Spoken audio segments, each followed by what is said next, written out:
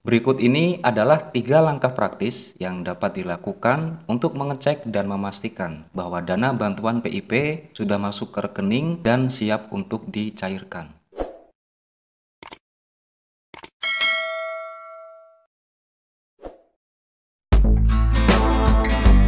Assalamualaikum warahmatullahi wabarakatuh. Jumpa lagi di channel YouTube Ngopi Insight. Pada video kali ini, saya akan membagikan tiga cara mudah untuk mengecek dan memastikan apakah dana PIP sudah masuk ke rekening atau belum. Silahkan Bapak Ibu dan wali peserta didik simak video ini dari awal hingga akhir agar mendapatkan tips dan trik yaitu tiga cara mudah untuk mengecek dan memastikan dana PIP sudah masuk ke rekening atau belum.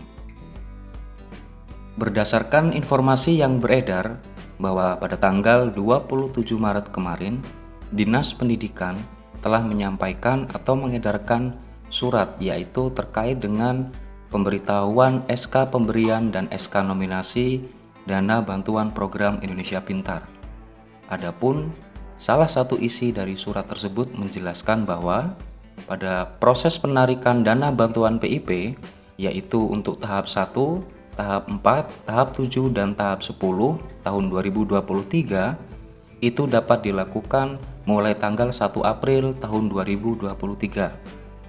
Sedangkan untuk SK nominasi tahap 1 dan tahap 4, proses aktivasi rekeningnya juga dapat dimulai pada tanggal 1 April 2023 sampai dengan tanggal 30 Juni tahun 2023.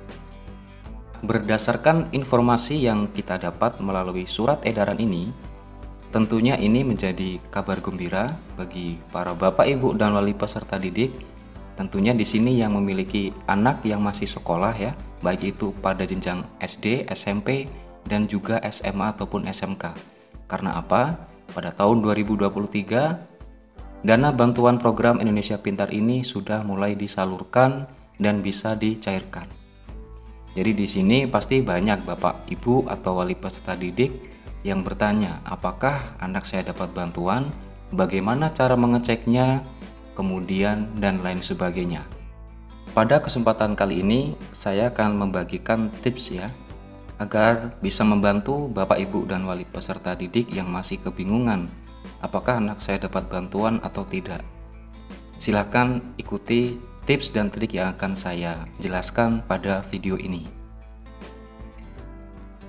Berikut ini adalah tiga langkah praktis yang dapat dilakukan untuk mengecek dan memastikan bahwa dana bantuan PIP sudah masuk ke rekening dan siap untuk dicairkan. Silakan untuk disimak berikut ini. Jadi pada langkah yang pertama atau tips yang pertama, di sini silakan Bapak Ibu dan wali peserta didik yaitu menyiapkan dua data. Pertama adalah NISN milik siswa, kemudian yang kedua adalah nomor induk kependudukan atau NIK. Karena pada tips yang pertama ini kita akan melakukan pengecekan yaitu ke laman website PIP Kemdikbud. Silakan Bapak Ibu akses atau buka website PIP Kemdikbud dengan alamat pip.kemdikbud.go.id. Seperti pada gambar tampilan ini ya.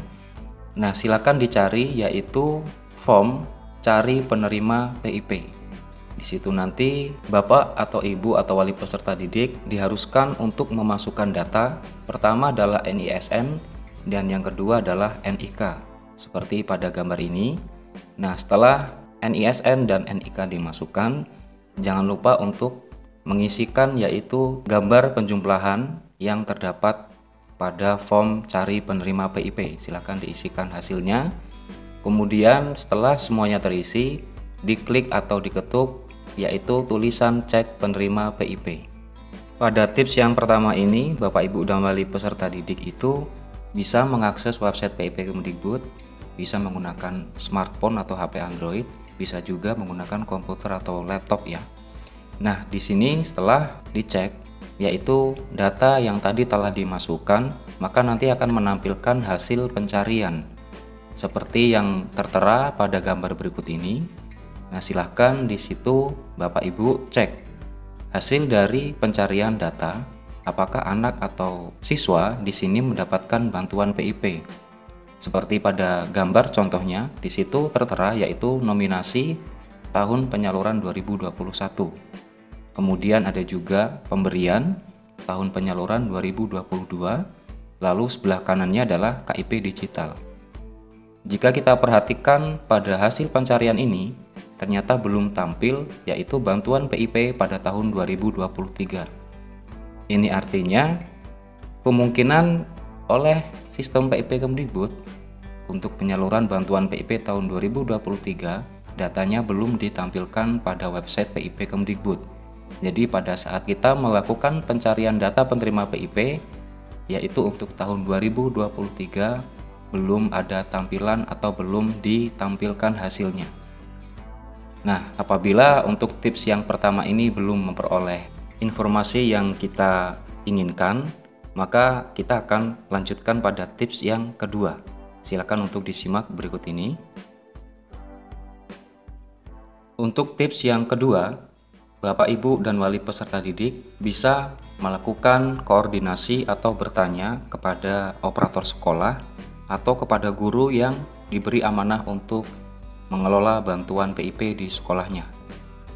Silakan untuk bertanya apakah anak Bapak Ibu mendapatkan bantuan PIP atau tidak pada tahun 2023. Maka nanti oleh pihak sekolah akan langsung dicek yaitu ke laman Si Pintar atau Sistem Informasi Program Indonesia Pintar. Nah, di situ nanti akan tampil yaitu data siswa yang memperoleh bantuan PIP pada tahun 2023 akan muncul daftar nama-namanya.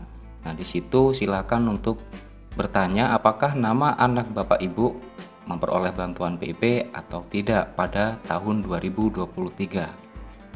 Kemudian bisa juga dengan meminta yaitu file SK nama-nama penerima bantuan PIP pada tahun 2023 maka nanti oleh pihak sekolah akan di-downloadkan ya.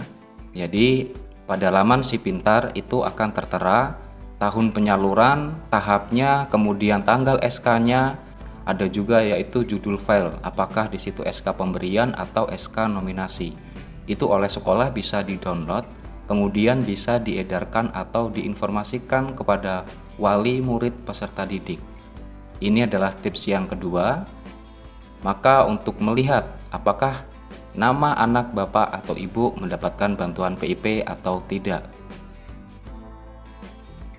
Selanjutnya, untuk tips yang ketiga, di sini Bapak atau Ibu wali peserta didik bisa mengecek secara langsung ke bank penyalur dengan membawa buku rekening ya. Jadi apabila jarak dari rumah ke bank penyalur itu terjangkau, Bapak atau Ibu bisa langsung datang ke bank penyalur.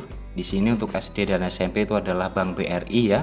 Jadi silakan dibawa buku rekeningnya, kemudian minta untuk diprintkan. Maka nanti pada laman transaksi di buku rekening itu akan tertera apakah ada dana masuk atau tidak pada tahun 2023 khususnya di sini untuk mengecek bantuan PIP. Nah, demikianlah informasi yaitu berupa tips yang dapat saya sampaikan pada video ini yaitu cara untuk mengecek dan memastikan apakah dana bantuan PIP itu sudah masuk ke rekening dan siap untuk dicairkan atau belum. Mudah-mudahan informasi ini bermanfaat. Sekian dari saya. Wassalamualaikum warahmatullahi wabarakatuh.